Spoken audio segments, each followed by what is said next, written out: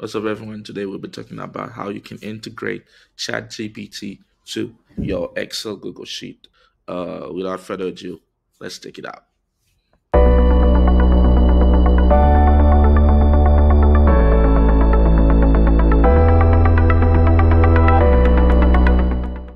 Right here, we are back again to tell you and explain in details how you can actually uh, pull up that trick of implementing ChatGPT to your Google Sheets. So first of all, you have to, um, I just write down the steps.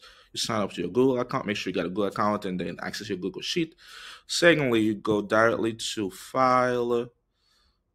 Make make sure you make a copy of this one, so you can have your own template saved. This is actually mine, but you can actually make a copy of it. Um, secondly, um, third, sorry, uh, let's say I guess step number four, you have to go to extensions clicking app script and it'll prompt that it'll prompt you to another uh, a page where you can actually copy a script. I'll be um, i'll be putting the the link of this script in the description. It's uh, just via github. So you just have to go and click on copy and paste. That's step number four. Now step number five you'll be using openai api to have access to chatgpt's power now you have to go to beta.openapi.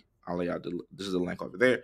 You click there, you sign up if you if you haven't done that yet, or if you have an account already on AP OpenAP OpenAI, you just sign in and then go directly to that link, and then you'll be prompted to create your own API keys. It's limited, but it's free for now, so you can actually have access to it. So once the, your key is created, you copy your key and then you come back to this sheet. You paste there'll be the, there'll be the code over there. Let me see if i can pull up mine. So this is the this is the code. This is the script itself. Because i already copied i already pasted there. But on yours it'll be blanked. So you have to copy it from the github repo and then paste it there. So be prompted here there'll be api key. That's where you're going to copy and paste your own api that you get from OpenAI, the beta version I mentioned earlier. I've refined it a little bit. Uh, it was a longer version. I've refined the, the, the code to make it more concise and and easy to read. So I've implemented those error parameters, actually the uh, error handle. So should should um, anyone want to look at it, that's fine. But for normal user, you don't even need that. All you have to do is copy and paste and make sure that you get your API keys integrated there. Make sure that everything is done, and then you click on save. Boom, that's it. Now, once you've done that, you just go back to your original sheet. Let's jump over there. Lay countries, population, size of the countries, capitals, and currencies. And all I do is I said earlier, this is actually the prompt you have to put. ChatGPT, the blue is the input. The red part is the size, is the range, so exact which uh, cells in your Excel sheet you want to uh, have your information. You don't have to have the information dump, dump there. And then I integrate that that one because I found out when I run it, it gives me long answers I didn't need because as you can see, the Excel cells are, are kind of small, and then I can afford to have longer explanations. So I added this context into it, and then I lay out the labels there. So the blue is the input, the information you want to ask. The red one is the range where you want to put your, your dynamic information, the green is the extension.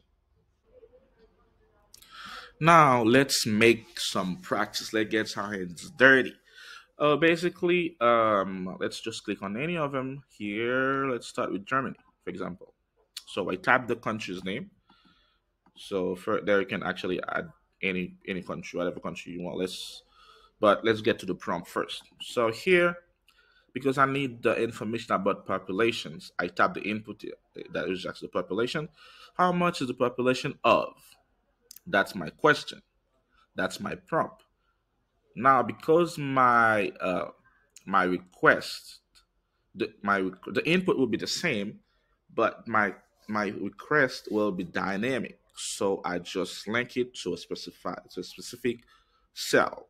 At that point, whenever I move the same uh, uh, prompt, I got the dynamic cells, then my information request will be automatically dynamic.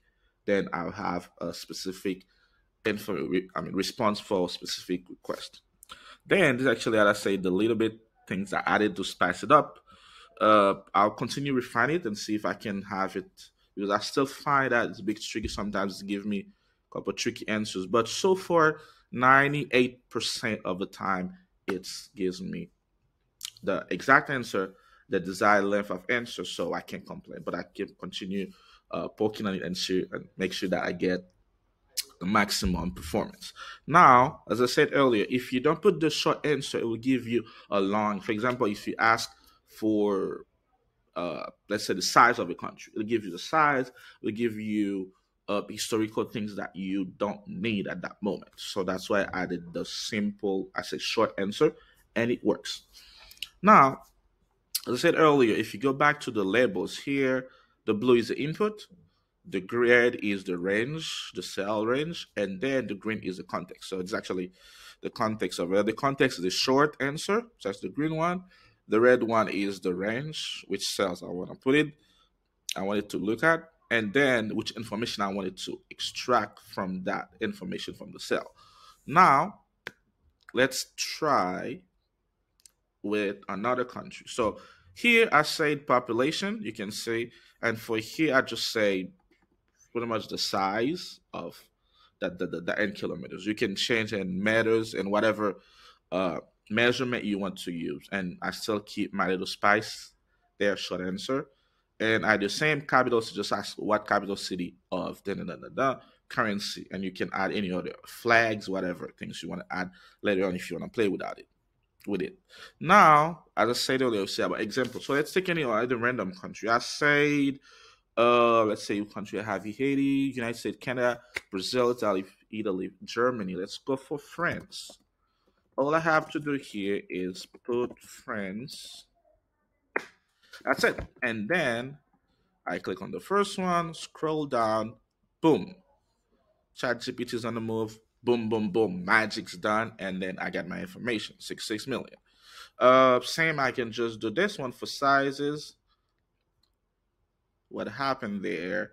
Boom, size of France, capital city, boom, Paris. Currency, boom, euro. Now, tricky part is as I said, it gives me, it gives me like the population of France approximately six six million. Sometimes I might not just need the number. I'm working on it. I haven't figured out how to make it happen, but I promise I'll come back with another version of another video once I get uh, a way of get only the numbers. Let's say you want to do mathematical operations, you just need the numbers. Then this information might not be useful at all. So, with that being said, that's how you can leverage the power of ChatGPT to Excel. And you can ask anything, color of fruits, uh, taste of fruits, anything, it will be able to answer you given its large data set. Uh, thank you very much for your time, guys. I think it was a great things when I learned it. So I think sharing is the best thing I can do. So I share with you guys. Consider subscribe to my channel, like the video, and share with your friends. And you know what it is. Peace.